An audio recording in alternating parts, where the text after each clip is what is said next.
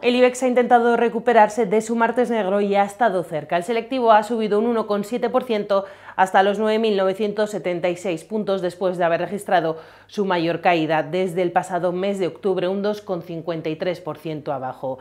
Las bolsas europeas también han intentado borrar las pérdidas de este martes y han cerrado con subidas del entorno al 2%. Mientras tanto, Wall Street cotiza con subidas cercanas al 1%, aunque con una gran volatilidad. De vuelta al IBEX, Siemens Gamesa ha sido el valor que ha registrado la mayor subida, un 5,5% arriba, después de que ayer fuera el único valor que pudo cerrar en positivo. En la parte alta de la tabla ha estado acompañado por Bank Inter y por Mediaset, que han subido más de un 3%.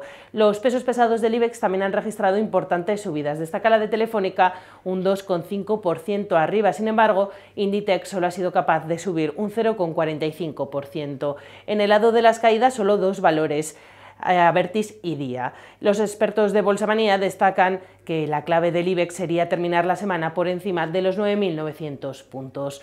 Por otro lado, Alemania ya ha conseguido un acuerdo para un gobierno de coalición. En España, el Gobierno ha propuesto al ministro Luis de Guindos para la vicepresidencia del Banco Central Europeo y la Comisión Europea ha mejorado la previsión económica de España hasta el 2,6% para este 2018. Pueden seguir informados en bolsamanía.com. Muchas gracias.